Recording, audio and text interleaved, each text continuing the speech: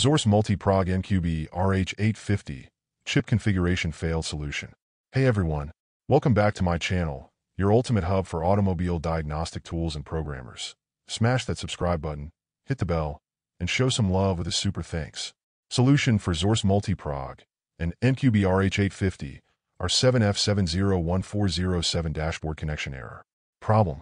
When trying to read in our 7F7014007 dashboard, using Xhorse Multiprog and the MQB RH850 cable, the error chip configuration failed.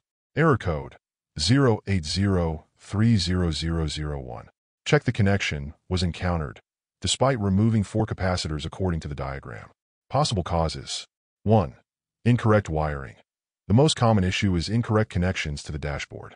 2. Wire extension. Extending the length of the adapter or wires can lead to communication failure.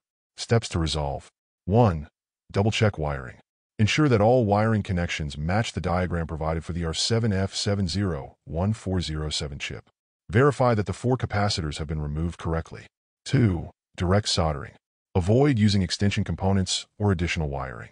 Directly solder the wires from the adapter to the board points, ensuring clean and stable connections. Ensure no bridging or cold solder joints that might impact data communication. 3. Avoid extending the cable. Do not extend the length of the adapter cable or any wires. Long or extended cables can cause signal degradation, leading to failure in reading the data.